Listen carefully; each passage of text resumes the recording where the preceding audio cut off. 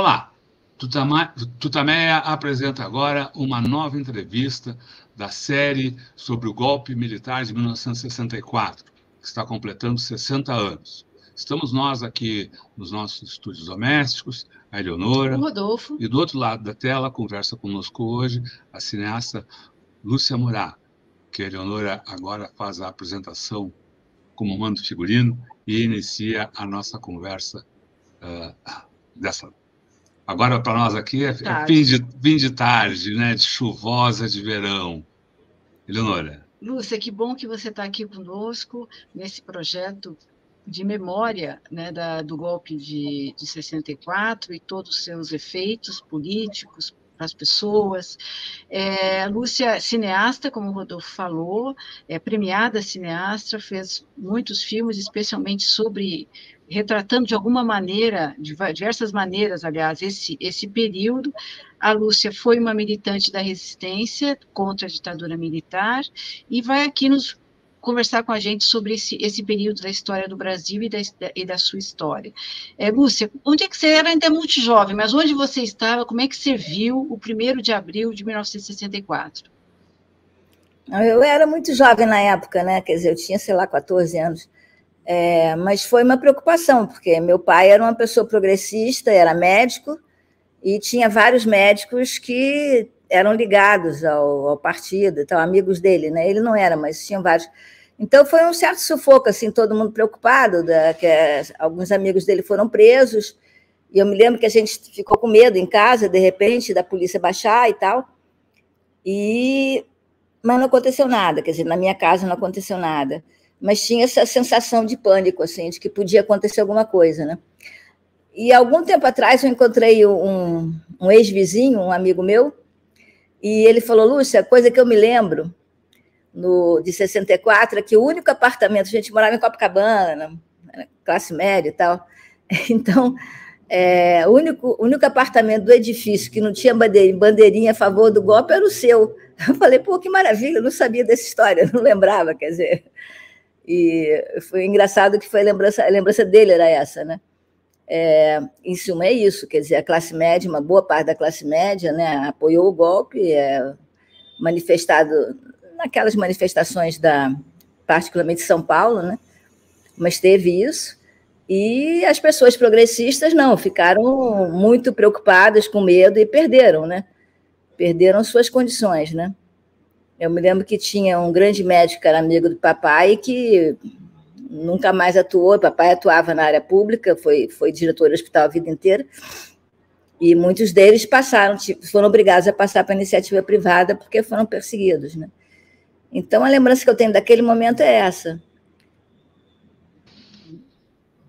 E como você viu o, o, as coisas que transcorreram nos dias seguintes, ou naqueles primeiros, naqueles talvez nos primeiros meses, da, uh, olhando a cidade desde Copacabana, uma cidade que aconteceram não vários conflitos e esses e os e ataques à repressão.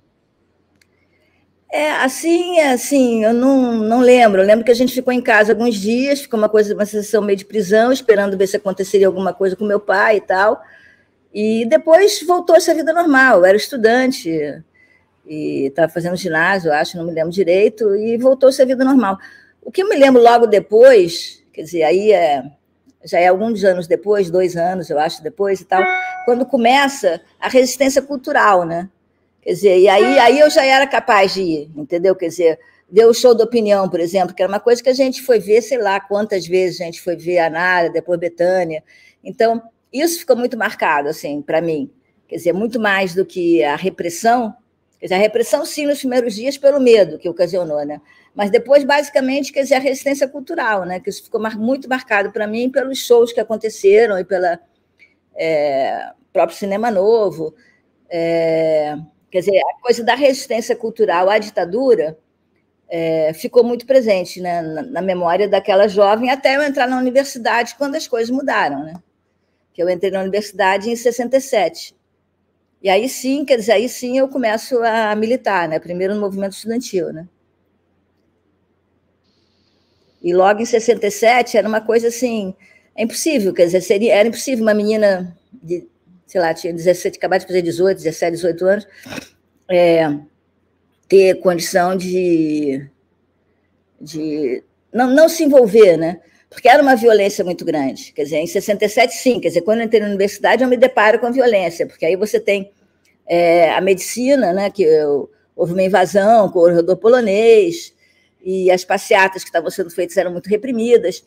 Então, imediatamente, eu me, eu me liguei a, a, as pessoas de esquerda que estavam, né, é, quer dizer, como representante de turma, na época ainda existia DCE, então, quer dizer, você começa a, a participar do movimento estudantil muito, muito pela, como, como uma resposta à violência que você estava vendo, né? É isso que eu falo, quer dizer, é inevitável uma pessoa de 17 anos que tem um mínimo de sensibilidade, diante daquela violência que ocorria, não se juntar à resistência, entendeu? E a resistência naquele momento era o movimento estudantil, naquele primeiro momento que foi 67, né? Mas, Lúcia, só ainda ficando um pouquinho mais atrás, por que, que a resistência cultural, por que, que os movimentos culturais uh, contra as ditaduras e a afirmação da luta pela democracia te atraíram naquele momento ainda tão cedo? Mas eu acho que isso era, sei lá, quer dizer, para mim era geral, assim, as pessoas com quem eu lidava, todo mundo, entendeu, estava Tava, quer dizer, existia um movimento, quer dizer, essas pessoas progressistas, inclusive minha família, meu pai e tal, tinham uma visão crítica dos militares, entendeu? Eram democratas, eram contra o golpe. Então, quer dizer, na medida que você começa uma resistência, essa resistência tem um, um, um poder de comunicação muito grande, quer dizer, o Chopp não, não sei se chegaram a ver algum dia, mas devem ter visto em vídeo alguma coisa, quer dizer, que vocês não são do Rio, mas assim, é, é uma coisa, era uma coisa linda, entendeu? E era assim, filas e filas, e você ia várias vezes. E você ia por causa disso, porque era uma maneira de você se sentir é, é, é, parte, digamos assim, da luta pela democracia, né? Não da luta exatamente, mas se sentir parte daquele momento, daquele movimento contra aquilo que estava acontecendo. Mas era muito isso, quer dizer, era uma questão muito cultural, você tinha muita piada contra militar, muita piada era uma brincadeira assim dos meninos na praia, de todo mundo na praia ficar contando piada e tal. Mas era uma coisa meio infantil, meio adolescente, entendeu? Quer dizer, da minha parte, né, que eu era jovem ainda. Na faculdade tudo muda. Na faculdade você começa a ter uma representação. Primeiro, quer dizer, você começa a se organizar, né, através de representante de turma, através do DCE. Eu em fui representante em 67, 68, eu já fui eleita, já fui vice-presidente da, da diretória da Faculdade de Economia. Quer dizer, aí sim, 68 já foi uma dedicação praticamente integral ao movimento estudantil, né? Inclusive, no final de 68, eu fui para a Ibiúna e fui presa em Ibiúna, né? Mas aí já tinha passado o grande ano, né? Que foi 68, que foi um ano incrível, né? Para nós que vivemos aquilo, foi um ano incrível. Porque Conta não foi só. Conta mais sobre o que foi incrível nesse ano. É porque eu acho que não foi só a luta contra a ditadura, era a luta contra todo o conservadorismo, né? Mas, assim, a gente, a gente lia Simone Beauvoir, a gente lia é, é? Revolução Sexual, a gente a gente estava rompendo com tudo, né? Porque eram as nossas famílias eram famílias de classe média muito conservadoras desse ponto de vista moral. Então, 68 veio arrebentando, né? Obviamente que foram conflitos familiares muito sérios, né? Particularmente pela questão moral, mais do que pela questão política, até, porque essas famílias também eram contra o golpe, né? Mas a questão moral era pesada, né? E 68 foi um marco nesse sentido, né? Foi um rompimento, né? Assim, quer dizer, assim, a, até aquele momento as moças de famílias de classe média casavam virgem, é, que você tinha todo um discurso cristão e tal, entendeu? Quer dizer, naquele momento, quando começa 68, que você começa a ler e, e, e, e, se, se achar capaz de romper com, com, com, com conservadorismo, com os dogmas, entendeu? É uma sensação de liberdade muito grande, né? A lembrança que eu tenho de 68 é fundamentalmente uma sensação de liberdade muito grande, apesar da repressão, apesar de, de, de apanhar, apesar de ter sido presa, apesar disso tudo. Mas a lembrança que eu tenho do ano de 68 é de uma sensação de liberdade muito grande. Como é que foi essa, esse congresso em Ibiúna? O que, que você, você lembra dessa, desse evento? É, a gente ficou pouco tempo, né? Porque eu acho que foi logo no terceiro dia que eles invadiram. Né? Era um congresso para a eleição do, do, do, do, representante da Uni. e eram dois candidatos, era o Dirceu contra o Travassos, e eram duas posições diferentes dentro do movimento estudantil. E, infelizmente, como acontece até hoje, você tinha discussões muito acaloradas né, entre essas duas posições. E, e quer dizer, come, começou com a gente, quer dizer, ao mesmo tempo, quer dizer, era, era maravilhoso, estava todo mundo junto, a gente, a gente cozinhava em panelões, entendeu? É, aí cada, cada, cada, cada faculdade estava tinha seus representantes, estava dividida, e a gente discutindo, discutindo, discutindo, mas não chegou a ver eleição porque eles invadiram. Eu me lembro que eu estava acordando e tal, quando eu olhei já estavam a PM entrando direto e tal, entraram e prenderam todo mundo, né? Mas teve um pouco aquela coisa de Biúna, teve um pouco uma piada que rolou, que falou só no Brasil é que você acha que você pode fazer um congresso clandestino com mil pessoas, né? Então, fomos todos presos. E tinha pois quase. É, mas, mas, achavam mesmo que, queria, que podia fazer o, o, um congresso clandestino? Claro que achavam. Claro, claro quer dizer, a, a, a, não, não havia uma expectativa de, de do ataque da, da, da polícia, não. da repressão. Não, não, não. Você tem que entender o seguinte: 68 para a gente que viveu, é, foi uma sensação de poder muito grande também, entendeu? Quando a gente fez a passeata de 100 mil, que foi em maio, bem antes de Biúna, foi em outubro, se não me engano, é, em maio, a gente não esperava, a gente estava até aquele momento fazendo passeata e apanhando, fazendo passeata, apanhando e fugindo, fazendo passeata, apanhando, algumas pessoas eram presas, depois eram soltas e tal, mas em suma, era esse movimento, né? E quando, quando, quando teve, primeiro, a, a morte do Edson Luiz, que foi uma comoção tremenda, né, que foi uma coisa horrorosa, é, que era um menino do calabouço, que tinha vindo para o Rio, um menino pobre, e foi uma comoção tremenda, entendeu? O assassinato dele. E levantou, levantou, foi todo mundo para as ruas e tal, a gente levou o corpo, a gente, a gente foi da, da Assembleia até o cemitério São João Batista em passeata, né? E, e basicamente os estudantes. Entendeu? Quando algum tempo depois teve a passeata dos 100 mil, também, pela primeira vez, quem estava coordenando tudo éramos nós, éramos, éramos estudantes. Então, isso deu uma sensação de poder também muito, muito falsa, também, entendeu? Eu acho que tudo que ocorre depois vem um pouco nessa rebarba. Evidente que a gente não era maluco, Quer dizer, nós estávamos desde. Porque a partir de julho, a partir da passada de 50 mil, já começa a ter uma repressão. No segundo semestre, já começa. Eu me lembro que teve um menino que foi morto lá na, na, na medicina da UERJ, se não me engano. Já começa a ter uma repressão pesada, mais pesada, mas a gente continua conseguindo fazer passeatas. E aí a gente começa a discutir. A essas alturas, quer dizer, os grupos de movimentos estudantis já estavam organizados em diferentes organizações que tinham propostas diferentes também sobre como derrubar a ditadura. Né? E muitas dessas propostas eram propostas de luta armada, que começa a ser discutido justamente porque a, a, gente, a gente achava, isso com, isso com razão, como acaba, acaba acontecendo, a gente achava que eles iam endurecer. Quer dizer, o AI-5 não foi uma surpresa para a gente o ato institucional número 5. A gente sabia que eles iam endurecer, a gente achava que eles iam endurecer, e, num certo sentido, a gente se preparava um pouco para aquilo, entendeu? Tanto é que quando teve o AI-5, eu me lembro, já foi 13 de dezembro de 68, a gente tinha um ponto de toda a organização e ninguém foi preso, porque todo mundo saiu de casa na véspera, entendeu? Quer dizer, então, é, não foi uma surpresa. Quer dizer, a gente, a gente, num certo sentido, a gente estava com uma análise correta de que eles iam endurecer. E aí, a partir daí, que começa a discussão da luta armada. Se eles vão endurecer, não tem mais saídas democráticas, então vamos discutir luta armada. Como é que foi, como é que foi a sua adesão à, à luta armada e a, tantas, a, essas tantas a sua família tinha, acompanhava esse, esse movimento ou não? Ah, não, as famílias ficavam apavoradas a essas alturas do campeonato, né? Porque logo depois, quer dizer, porque aí já começa a prisão, tortura e tal, depois do AI-5 é generalizado, né? Então as famílias ficaram muito apavoradas, entendeu? Eles estavam, essas famílias de classe média que tinham recursos estavam pagando para você ir para a Lua, entendeu? E você não ia. E aí eles ficavam com muito medo, né? Porque vira e mexe aparecia cara de, da gente no jornal, cara de amigos no jornal. E começam a acontecer coisas, como o sequestro do, do americano e tal entendeu? Isso já em 69.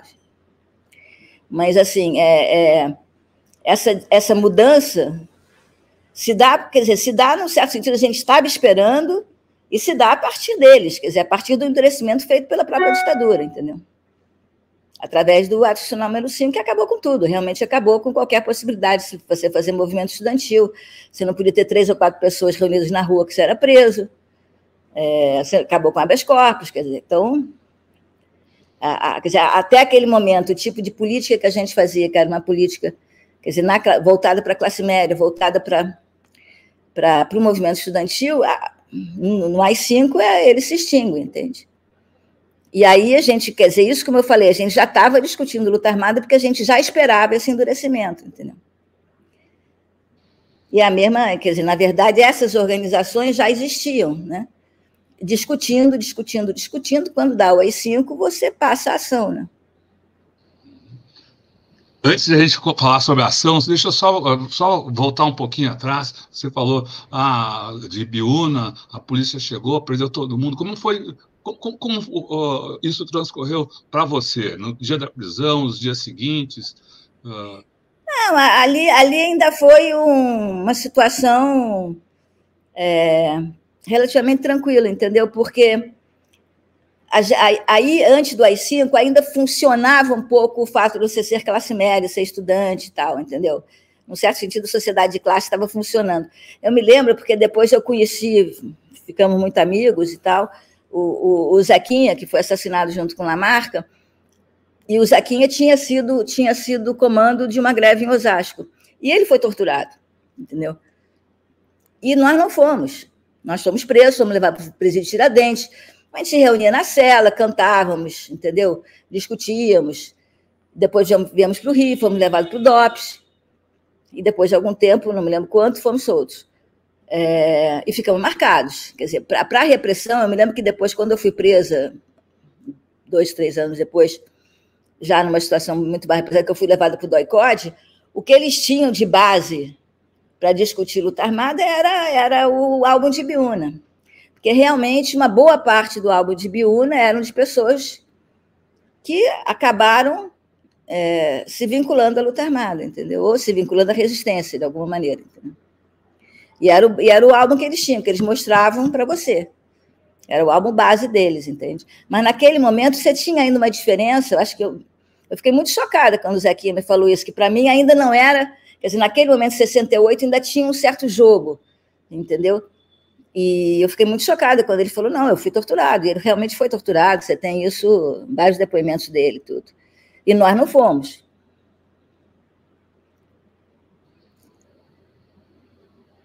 Bom, então saltemos de novo a sua última frase antes dessa pergunta que eu fiz. Então, tínhamos que partir para ação. O que, que significou para você partir para ação? É, foi bem complicado, né? Porque aí a clandestinidade é muito dura, é muito difícil. É, você não tem onde morar, você tem que mudar de identidade, você sai da sua área de conforto, você. No início, quer dizer, no início todo, é, a gente ainda estava com uma certa força, né?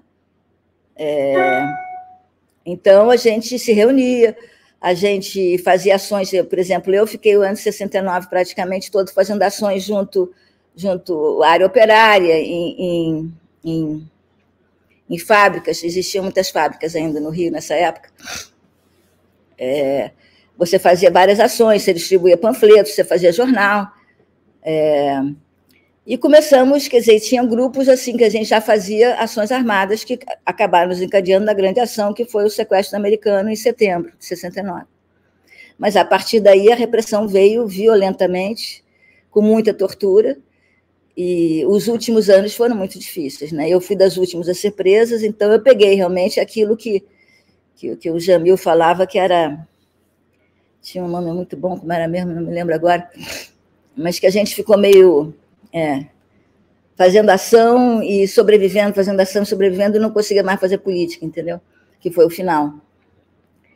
Que aí, quando bem no final, algumas organizações foram para o exterior e, e viram que tinha acabado aquela possibilidade de resistência. Bom, essa foi a minha experiência. Né? E, e, como é que era essa ação na, na, nas zonas operárias. Você pode descrever um pouco mais como é que era esse, era esse trabalho? É, a gente ia nas fábricas, assim, no horário de entrada, no horário do almoço, no horário de saída, e distribuía panfletos e tentava fazer contatos. E algumas vezes tinha alguns contatos que a gente já tinha na fábrica que distribuíam lá dentro também, entendeu? Era basicamente esse trabalho. E... Mas e a produção desses panfletos? Era feito pela gente.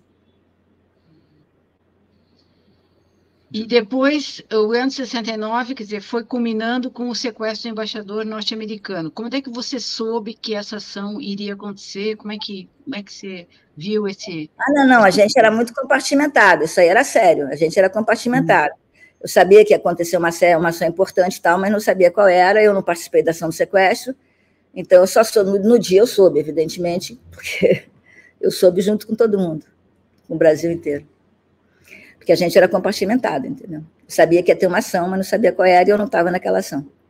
E qual, e qual foi a reação que você sentiu naquele dia? Ah, naquele primeiro momento foi uma, foi uma euforia, né? não somente da gente, como das pessoas, assim, e mudou muito logo depois, que eu me lembro que naquele momento você encontrava as pessoas na rua, assim, e pessoas mais ou menos sabiam que você estava envolvida e tal, e faziam, entendeu? Foi uma euforia geral. Euforia durou pouco, porque logo depois começou uma repressão pesada, pesada, pesada, e aí começa o outro lado, quer dizer, que é você cada vez se isolando mais. E as pessoas com medo.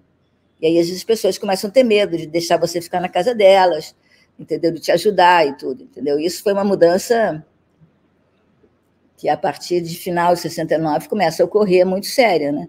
E aí vem esse, esse, esse, esse ciclo muito ruim da, da, luta armada na, na, nas cidades, que foi praticamente fazer ação para para sobreviver, para fazer ação de banco para conseguir dinheiro para sobreviver, não conseguir fazer política, fazer sobreviver para sobreviver, metade e de tempos em tempos caía mais gente, até que, no, no caso, a organização que eu participava, eu fui presa antes dela sair do Brasil, mas depois. E era uma coisa assim, porque era uma coisa assim, também a essas alturas você já tinha companheiros mortos, assassinados, muita gente torturada, era um horror. Então, assim, o meu pai fazia qualquer negócio para eu sair do Brasil. E eu não conseguia, entendeu? Eu não conseguia porque era uma relação de, de, de, de, de fidelidade com aquelas pessoas que tinham sido assassinadas, que estavam torturadas, que estavam na prisão, que estavam no exílio e tal. Não conseguia mesmo. É óbvio que no momento que eu cheguei no boicote, eu comecei a apanhar, alguns dias depois eu vi, entendeu? Eu vi e mandei, consegui depois de algum tempo mandar um recado para a organização e dizer, gente, tem que, tem que sair do Brasil, tem que rediscutir, não dá, acabou. E, obviamente, eu sabia que eles iam reagir como eu reagia quando eu estava, no, quando eu estava fora, que era dizer, não, está muito pessimista, porque apanhou, não sei o que. Né? Ainda ficaram, porque eu fui presa em 71, eu acho que a organização saiu ali por 72 talvez final de 72, mais ou menos. Não sei direito, não, porque eu estava presa. E aí? Você, você, você conseguiu, ah, apesar de na prisão, ter ainda contatos com, com a organização, pensar a resistência? Como ah, é não, não, a gente conversava, a gente discutia muito, né? A gente tinha coletivos dentro da cadeia, a gente discutia muito, né? Eu não tinha contato com a organização. Eu consegui mandar um recado, entendeu? Só. Eu não tinha contato. Que era muito difícil, envolvia família e tal, era muito complicado. E, e a, a organização já estava também muito desfalcada. E a, você ficou um, um, período longo na prisão, né? Como é que É, quase quatro anos. Quase quatro anos. Como é que foi esse período? Ah, depende da época, né? Porque, quer dizer, no início foi um horror, eu fiquei quatro meses no doicode, que foi uma coisa trágica, quer dizer, que eu trabalho muito em cima disso até. É, Para mim, assim, é o grande horror é o doicode, não é a prisão, é o doicote, é, é a tortura, é a coisa é o horror total, né? Quer dizer, eu acho que quando a gente discute ditadura discute o que foi o Brasil e tal, isso aí tem que ficar claro que isso foi feito, que isso foi institucional. Isso é um horror, isso não pode ser admitido. É, e depois não, quer dizer, depois eu fiquei dois, quase dois anos mais ou menos na Vila Militar e depois em Bangu. Na Vila Militar você ficava de três em três meses, eles ficavam mudando a gente de quartel, porque eles achavam sei lá o quê. E aí dependia do, do S2 do quartel, entendeu? Tinha os S2 mais legais, uns S2 malucos, tinha de tudo, entendeu? Dependia do S2 do quartel se você tava, se você tinha melhores condições ou piores condições. Mas, de qualquer maneira, quer dizer, as visitas eram vigiadas, você não podia entrar jornal, não podia entrar televisão, não podia entrar nenhuma notícia e tal. E é, os livros também eram muito proibidos, aquelas bobagens assim. Eu me lembro que meu irmão me mandou de Londres um, um, um pano de prato do Toulouse-Lautrec, e aí aquele, aquele que, ele, que ele tem o, o lenço vermelho, os caras disseram, não, isso é comunista, não pode. É essas piadas, assim, a gente ficava fazendo piada essas coisas. Mas efetivamente era muito repressão. Quando eu cheguei em Bangu, não, Bangu, quando eu cheguei em Bangu, a sensação que eu tive foi que eu estava numa colônia de férias, né? Porque aí muda, né? A gente tinha um pavilhão só da gente, um pavilhão de preso política, a gente tinha, porque lá na vila, dependendo do S2, você tinha mais banho de sol, menos banho de sol, mas eram poucos banhos de sol. Tinha um maluco que queria que a gente fizesse, pegasse banho de sol gemada, que dizia que mulher era pior de homens, o cara de um machismo assim absurdo e tal. É, mas em Bangu não, em Bangu a gente tinha um pavilhão que tinha, a gente era trancado nas celas às oito da noite, liberados às, não me lembro que horas da manhã. Não, acho que a gente era trancado às seis da tarde liberado às oito da manhã, não me lembro. Mas, em suma, durante o dia a gente podia ficar ali, tinha um, uma varandinha, que você podia pegar sol o dia inteiro, tinha um salão, a entrada de livros era bem mais liberada, e aí eu, eu li muito, assim, eu, às vezes eu me trancava dentro da minha cela e ficava lendo três livros por dia e tal. E, e aí, quer dizer, a visita com a família era uma visita num, num, num pátio aberto, você podia falar à vontade e tal. Eles liberaram é, algumas vezes para entrar primos, e não, não só irmão e pai e mãe, como era na vila, entendeu? Então foi esse final assim, quer dizer, óbvio que prisão é uma merda, é, é, é um horror você não, não poder sair e tal, mas foi uma diferença grande, né, em relação à vila, sim, quer dizer, como prisão, né.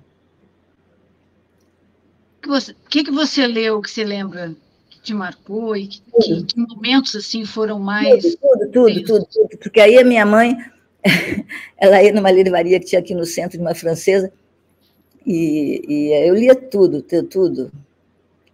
Mamãe conseguiu me mandar um monte de diplomatique, entendeu? Eu, às vezes, ela conseguia me mandar livros assim, já discutindo a queda do socialismo, já discutindo é, um, coisas bem interessantes, entendeu? Além de literatura, eu sempre curti muito literatura, então literatura latino-americana eu li toda na cadeia, quer dizer, aí Garcia Marques, Cortázar e tal, tudo na cadeia. E,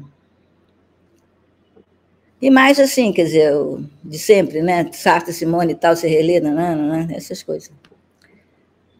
Mas assim, tinha uma biblioteca boa. A última a sair, que foi a Jane, ela levou a biblioteca e deu, de, e deu para um bispo numa comunidade aqui perto.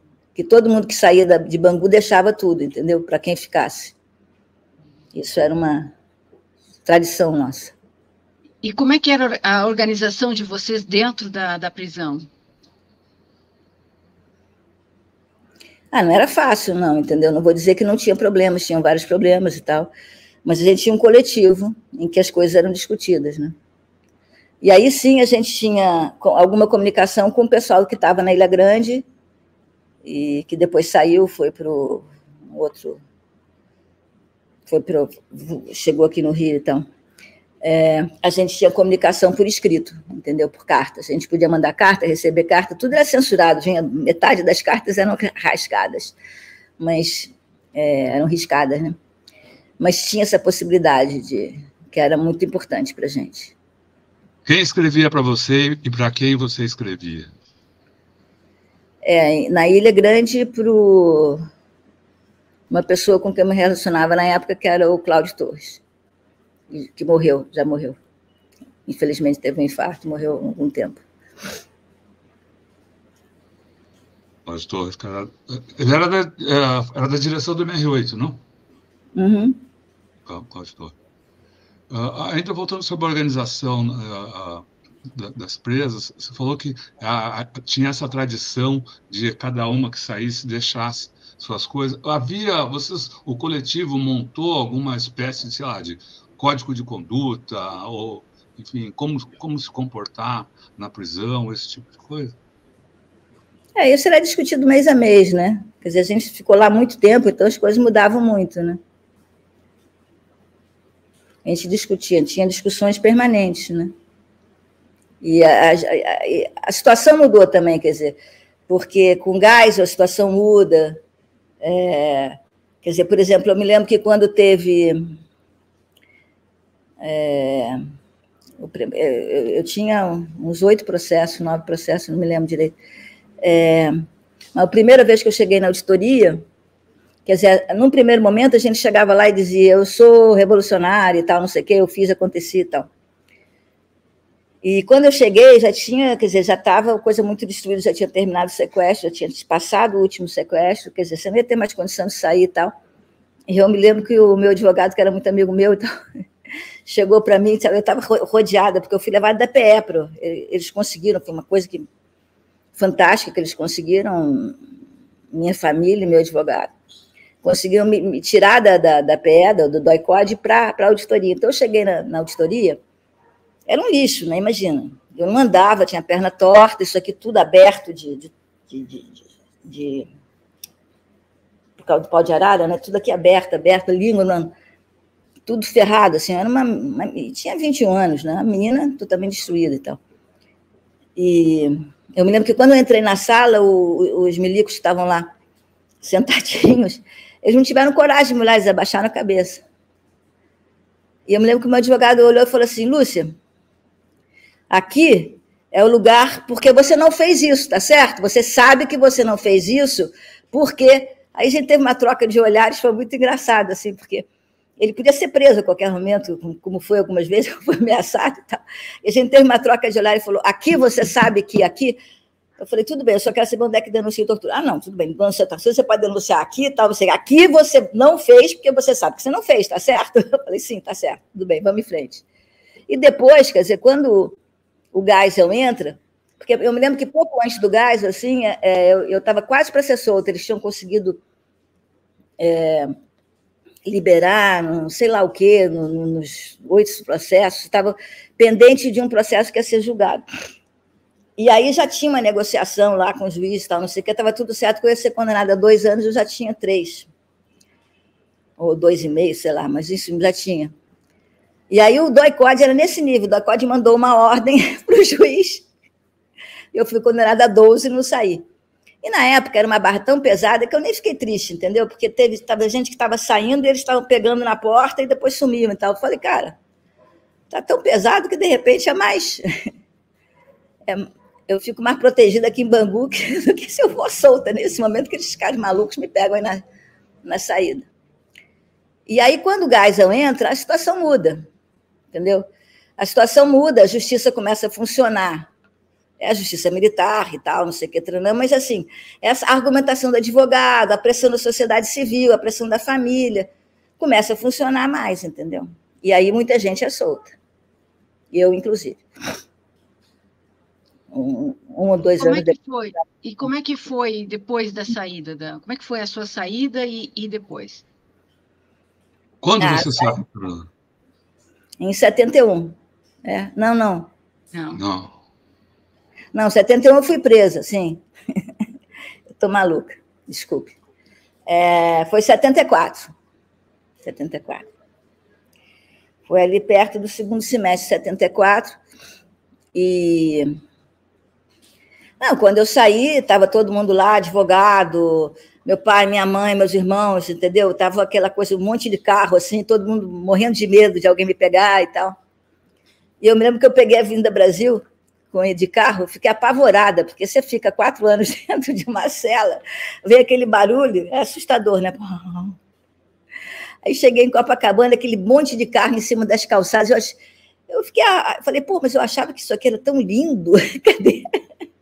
a fantasia que você tem do lado de fora é imensa, né? Quando você vai ver, pô, não é nada disso, é tudo um barulho incrível que você não está mais acostumado.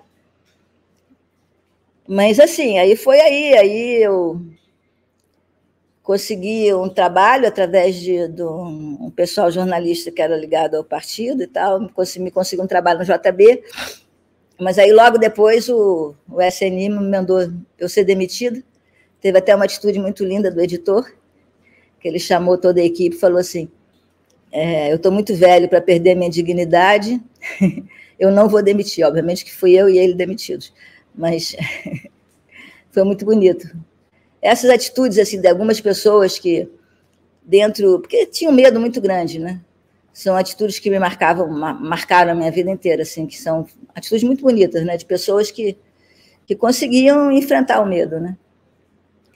E esse editor foi foi um deles, né? E aí você foi demitida e fez o quê? Continuou no Brasil? É, pois é, quer dizer, o nego também estava me mandando para o Japão e tal. Mas aí, essas alturas, eu falei, Cássio, desses caras estão mandando na minha vida, deixa eu sou garoto e tal, chega, eu vou fazer agora, eu vou tentar reestruturar a minha vida. Aí eu comecei a receber umas cartas de ameaça, tipo Esquadrão da Morte, sabe? Era horrível, na minha casa. Aí eu fiquei meio apavorada e tal, eu, eu não quis sair, eu não quis ir para o exterior, quer dizer, podia ter ido clandestina, mas eu aí eu fui, fui, fui, ficar no Rio Grande do Sul, fiquei no Rio Grande do Sul uns seis meses. E quando eu voltei, já foi 78, uma coisa assim, 77, sei lá. E, e aí as coisas foram acalmando também, né? E em 79 teve anistia, né? E aí eu trabalhei muito em jornal alternativo também, a gente fez vários jornais alternativos, né? Eu cheguei a trabalhar no Opinião, no Movimento, no a gente criou um jornal, esqueci, um flagrante, a gente fez bastante coisa nessa época. Que era a época que eles jogavam, que aí, que o, do, que aí o Doicode ficou meio desesperado, saiu jogando bomba aí. Que teve Rio Centro, isso tudo, né? E mais as bombas no, nas, nas, nas, nas bancas de jornais, né? Mas aí, no, mas aí, no certo sentido, a gente já estava um pouco mais respirando mais, né? E a, o seu caminho para o cinema, como é que foi isso? Porque essa experiência toda que você está nos contando teve uma interferência enorme na sua, na sua vida como está é, tá, tá tendo uma interferência enorme na sua vida como cineasta. Como é que foi essa essa transição? É, ali por 77, 78, quer dizer, eu comecei, eu estava namorando o Paulo, que é o pai da minha filha, que fazia cinema. Ele foi da ECA de São Paulo, então. E, e aí eu comecei a lidar com o pessoal de cinema, comecei a ajudar em curtas e tal. E na época, assim, quem fazia jornalismo, eu fazia jornalismo, e quem fazia cinema estava muito próximo também, porque o pessoal, por exemplo, do Globo Repórter trabalhava com reversível, até o filme mesmo, né? É, e então tinha essa proximidade, essa discussão e tal. E comecei a ter relação com essas pessoas e trabalhar, ajudar e tal. E aí, quando em 78 tem o, o, o a invasão pelo sandinista do Congresso da, de Manágua, na Nicarágua, contra Somoza, aí eu falei, aí eu realmente falei, Cacilda, que coisa interessante e tal. Aí eu falei, ah, Paulo, vamos lá fazer um filme, então. Então, foi uma maluquice, entendeu? Porque eu não tinha nem, nem passaporte, não nada. Eu ainda era, ainda não tinha tido nem anistia. Né? Aí, mas assim, eu acho que, que eu o cinema, na verdade, começou para mim muito com uma busca da minha geração. Quer dizer, quando eu fui fazer esse filme, foi muito mais buscar a minha geração do que buscar o cinema. O cinema foi o, um meio que eu encontrei. E no decorrer, depois, quer dizer, eu, eu fiz, quer dizer, foi meu primeiro filme, Pequeno Exército Louco, mas que demorou muito para sair, porque aí vem Brasil, né? Logo depois, quer dizer, porque aí a gente voltou. Eu já cheguei a fazer, eu cheguei a fazer um roteiro que era uma mistura de ficção com documentário, desde o início já estava com essa ideia na cabeça, então apresentei na Embrafilme, o projeto foi aceito. Aí a gente começou a montar e tal. E aí teve a crise da Embrafilme por causa do Pra Frente Brasil, que o Celso Amorim foi demitido e tal, teve intervenção e tudo, e o meu filme, obviamente, foi para o Beleléu, né?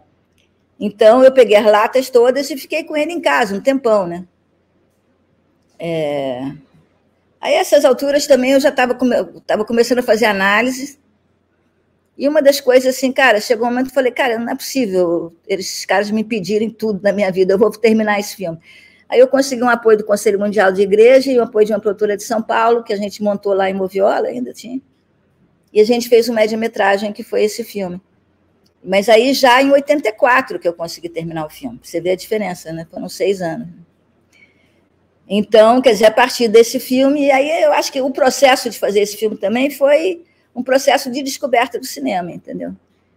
E aí essa descoberta foi incrível para mim, foi incrível ter tido esse privilégio de poder ter feito tantos filmes falando dessas experiências e, e de outras, né? Que vieram no decorrer do tempo, porque essas alturas já são mais de 40 anos, né? Fazendo cinema. O que é a descoberta do cinema? O que, que, que é o cinema para você? Ah, eu acho que essa possibilidade fantástica que você tem de não ter respostas imediatas, sabe? De você poder lançar, lançar, lançar camadas e mais camadas, sabe, de sonhos, de imagens, de, de, é, de, de dúvidas, entendeu? Eu acho que é isso, acho que basicamente é essa possibilidade imensa que você tem de várias camadas para tratar de uma questão, sabe? Então, foi essa descoberta que eu tive nesse, nesse processo do Pequeno Exército Louco. Eu queria também uma outra frase sua, que você foi atrás do cinema como uma forma de ah, buscar a sua geração. O que uhum. significa isso? Buscar a sua geração. E que foi sua geração? É, a geração 68, que tem também a ver com a geração da guerrilha na América Latina, né? E que quando acontece isso de 78, e de repente, quando a gente está numa sensação de derrota muito grande, porque praticamente todos os movimentos tinham sido derrotados. É,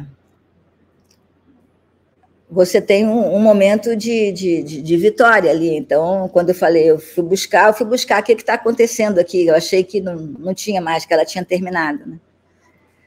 Infelizmente, é uma tragédia também, porque o que acontece na Nicarágua hoje é uma tragédia, né? mas isso é outra história. E olhando esse toda esse, essa trajetória, 60 anos depois da, da, da, do golpe, o que, que você pensa, assim, pô, 60 anos da, do golpe de Estado, o que, que você visualiza? É, eu acho assim, quer dizer, eu acho que tem um lado, quer dizer, que a gente, é, que naquele momento, né, quando você é torturada, quando você ver seus amigos sendo assassinados e tal, a sensação de derrota é muito grande, né? Eu acho que olhando para trás, você vê uma sensação também de que o Brasil, é, socialmente, avançou muito pouco, né? Isso é uma tragédia. É, mas, por outro lado, quer dizer, a gente tem uma, quer dizer, a gente avançou no processo democrático, isso é uma vitória. A gente avançou nos movimentos identitários, quer dizer, eu acho que é fundamental hoje o movimento negro, é fundamental o movimento de mulheres, e de uma maneira muito mais radical do que foi na minha época, entendeu? Então, eu olho para trás, quer dizer, eu tenho filha, tenho netas, quer dizer, eu acho que a gente a gente ainda tem um país que é o grande problema, que é de uma desigualdade absurda, entendeu? Que, que a gente continua tendo que combater isso, mas a gente avançou em outros aspectos muito, principalmente se a gente se refere apenas à ditadura, entendeu? Então, eu não acho que foi jogado fora esses 60 anos, não. Acho que tem muita gente que lutou e se conseguiram muitas coisas. Né? Logo no início dessa nossa conversa, você falou da opinião da resistência cultural à ditadura. A importância da resistência cultural hoje, ou a, importância da resistência cultural, a importância da cultura na construção uh, de uma democracia, de um mundo melhor, de um outro mundo possível. É, eu acho que às vezes as pessoas que estão lidando com a política não têm essa dimensão, entendeu? Isso é uma coisa que a gente, a gente que é de cultura, tem que, tem que mostrar, entendeu? Quer dizer, o chamado não é só porque é soft power, não, entendeu? Quer dizer, é, é, tudo que a gente viveu ultimamente com Bolsonaro, com 58 milhões votando numa pauta conservadora, a gente, como, como contrapor isso? É, é culturalmente, entendeu? Quer dizer, eu acho que a gente tem que pensar na cultura como, como um avanço da humanidade, entendeu? Não só como. Não é entertainment, entendeu? É avanço da humanidade, sim. A gente tem que trabalhar na, na nossa cultura, no, na nossa ancestralidade, digamos, na nossa história, mas é, pra, visando o futuro, né? E a única maneira de visar o futuro eu acho, é através da cultura, através da importância que a cultura tem. E o que, que, você pensa fazer daqui para frente? Assim, quais são os seus projetos? Você que ganhou tantos prêmios, tem uma filmografia imensa aí. Bom, ah, junto com os projetos, tem um filho dileto entre seus filhos, entre seus filmes? Ah, não, sempre o melhor é o próximo. Senão, né? Senão a gente desiste, né? Pô, você já fez o melhor, não precisa fazer mais nada. Não, é o seguinte, a gente Bom, estou com 75, hoje tem algumas limitações, né? Estou bem e tal, mas tem algumas limitações, é verdade. Eu, eu, esse ano a gente está lançando, a gente vai lançar O Mensageiro, que foi um filme que eu mostrei ano passado no Festival do Rio, na Mostra de São Paulo, que é um filme também sobre essa época, que eu acho que discute muito essa questão da polarização, essa questão da humanidade, da memória. E, além disso, eu estou terminando agora é, é, dois documentários, aliás, três. Eu estou terminando mesmo, que eu já filmei, estou já editando, já na pós-produção, um documentário que eu estou gostando muito de fazer, que é sobre adolescentes de escolas públicas e sobre quer dizer, a relação deles com, com, com violência, com racismo.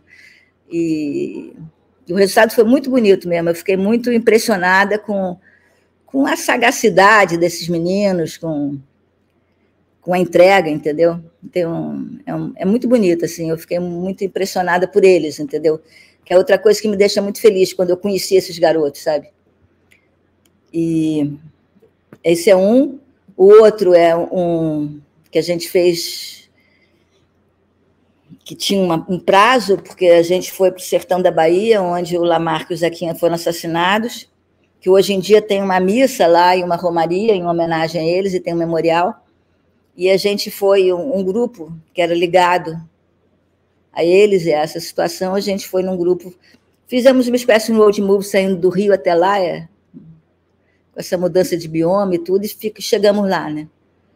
E, e para ver o que, que, que, é, o que, que é essa realidade, o que, que é essa romaria, o que, que era essa missa, é, a família do Zequinha, tem um irmão que ainda vive e tal, que também é um projeto bem bonito que a gente começou a filmar e tal, já fez uma boa parte, mas que ainda é, tem que começar a trabalhar mais. Isso. Lúcia, a gente quer agradecer muito a sua participação aqui nesse uh, projeto Tutameia, que, que, procura resgatar a memória dos que uh, uh, lutaram, lutam, né, pela democracia, lembrando aí todo esse processo que a gente viveu. Agradecemos também a participação do público. Lembramos que essa entrevista fica disponível em todos os canais Tutameia, é só buscar por Tutameia TV e você nos encontra nas várias plataformas de podcast, no Twitter, no Facebook, no YouTube. No YouTube, não deixe de se inscrever no nosso canal e clicar na sinetinha para receber avisos de novos vídeos. Visite também o nosso site, o Tutameia. O endereço é tutameia.jor.com e agora, antes das despedidas, tchauzinho, a gente devolve a palavra para a Lúcia, para que dessa vez, sem perguntas, faça sua fala, mande sua mensagem para o povo que está aqui com a gente e que segue conosco pela internet afora. Lúcia, muito obrigado, a palavra é sua. Não, obrigada a vocês e parabéns pelo trabalho que vocês fazem, que é muito importante. Eu acho que é isso, quer dizer, é, parabéns para todos nós que estamos aqui ainda resistindo e fazendo trabalhos importantes. Para o público também que está aqui, presente. Obrigada. Legal, muito, legal. É. muito obrigada. Muito obrigado, Lúcia. Um abraço. Tchau, tchau, pessoal. Tchau.